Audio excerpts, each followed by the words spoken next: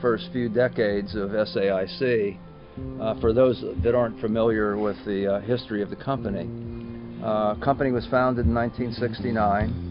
Uh, in fiscal year 70, 1970, uh, the annual revenues were $243,000. By, by 1980, uh, the revenues were 150 million.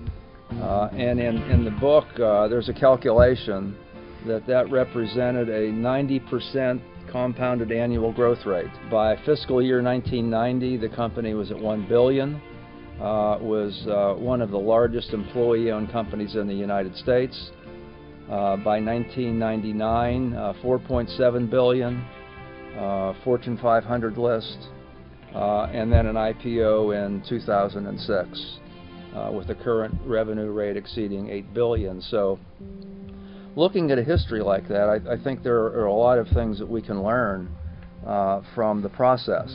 We're going to get into a discussion a little bit later about uh, this particular business model, which is kind of unique.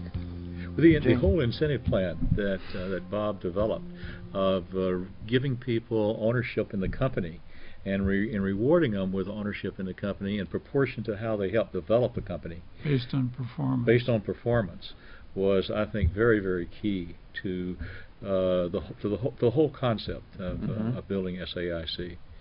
Um, a little bit every year we went through a planning process. There was an annual planning. There was an annual planning process and a reorganization process. Right.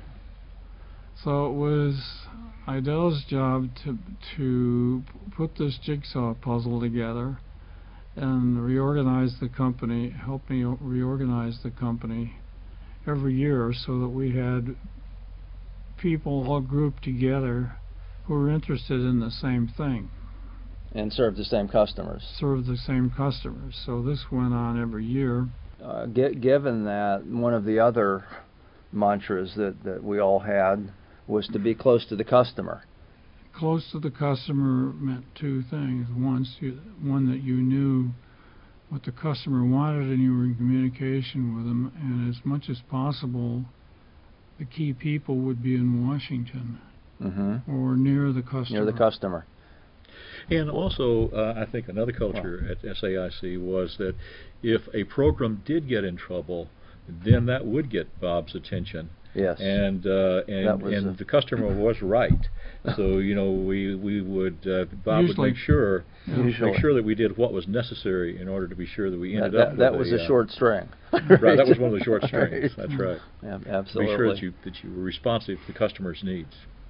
Talk a little bit about your personal role uh, in the selection process. How did you select people, uh, and how did you recruit them to join you in this venture?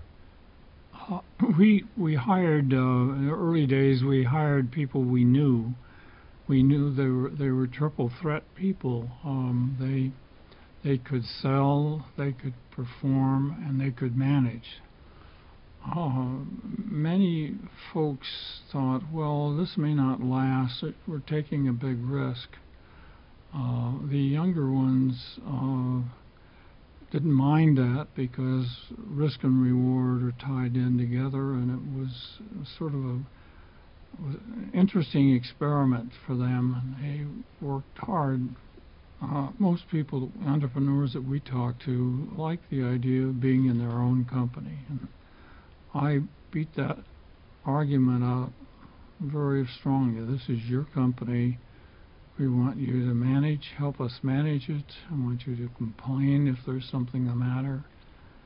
I hope you'll be patient, but we're counting on you to to help this company succeed. Now, as part of that, you you you stayed in the book, and I'll I'll read. So I'm not. This, these are not my words; these are yours. That you were a demanding CEO uh, who gave freedom and autonomy, but expected results and constant, constantly monitored performance metrics. But you were the catalyst behind the organization. So tell us a little bit about your concept of freedom, but with strings. Uh, people had a lot of freedom, but they also had to follow all the rules. That's what I mean by strings.